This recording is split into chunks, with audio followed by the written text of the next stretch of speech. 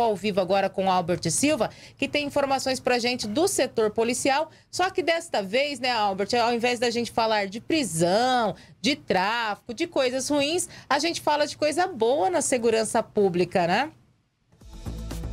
Oi, Ana, bom dia para você, bom dia para toda a nossa audiência. Pois é, os policiais militares que compõem aqui o 2 Batalhão de Polícia Militar receberam um agradecimento da, da direção da Escola Estadual Dom Aquino Correia, Ana Cristina. E o legal e o tão interessante né, com essa notícia é que esse ofício de agradecimento foi enviado pela diretora, a Sandra Caniço Maia, e o diretor Valdir Pereira do Nascimento, onde agradecem, Ana, o atendimento prestado à comunidade escolar, destacando destacando aí em especial o reconhecimento ao trabalho desenvolvido pelos policiais, o sargento Guilherme e também o soldado Lucas, né, por desempenharem aí um papel importante no acompanhamento aí dos trabalhos, né, dos estudantes dentro e fora da unidade escolar, sempre com orientações e ações preventivas, né? Então a gente fica muito feliz com esse reconhecimento, com esse agradecimento da escola porque se tratando né, desses dois policiais que fazem lá a segurança,